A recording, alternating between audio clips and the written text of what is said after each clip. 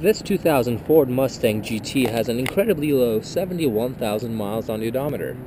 It only really has two imperfections to be found on the whole body, which is the small spot of paint missing, which will receive touch-up paint prior to sale, and another spot in the rear. The front end, besides that, is in very nice condition, free of any imperfections, and the windshield is free of any chips or cracks.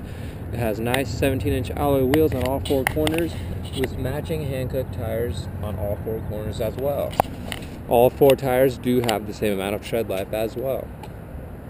The rest of the body is in near immaculate condition with no dings, dents, or scratches to be found, and this is the only other imperfection to be found on the whole car. Again, that would receive touch-up paint professionally before the vehicle is sold. It does have many power options such as power windows, mirrors, and locks, as well as power seating.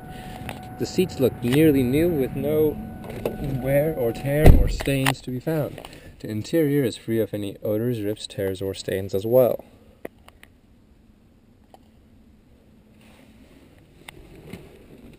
Interior of this Mustang gets as close to new as you're going to be able to find.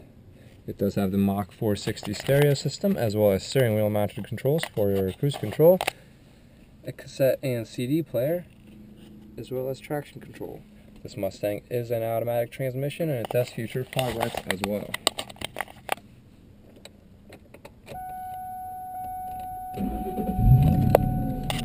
As you can see, it does start right up and idle perfectly, there are no lights on the dash.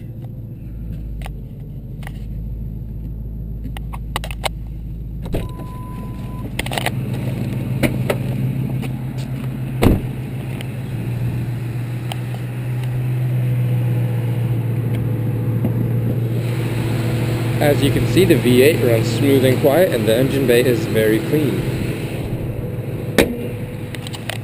This has been our 2000 Ford Mustang GT with only 71,000 miles on the odometer.